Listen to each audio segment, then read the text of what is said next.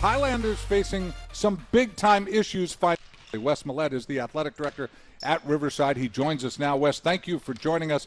Uh, there is serious consideration that the school might eliminate athletics. Please update us on what's going on. Well, thanks, Dave. Yes, in uh, August of 2020, the Budget Advisory Committee at the university put forth a recommendation of the suggested elimination of athletics here at UC Riverside.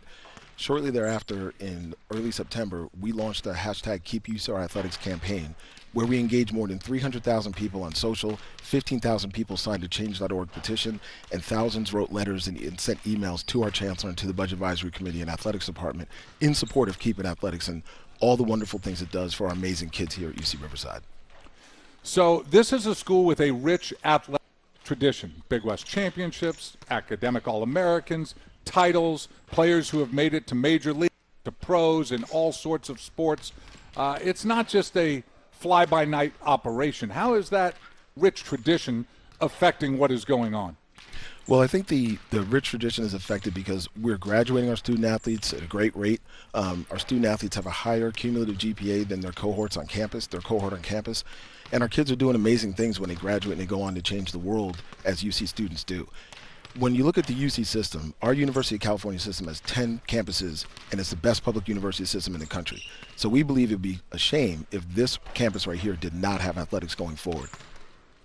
Got about 30 seconds left. There's over 400 people that would be affected, over 300 mm-hmm. athletes.